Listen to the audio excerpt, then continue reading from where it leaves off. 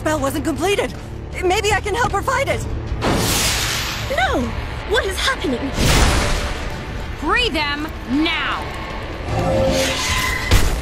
Eda, are you okay?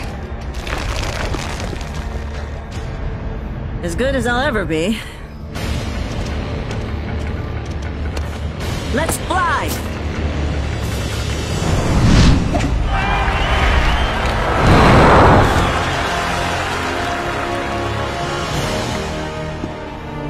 My liege!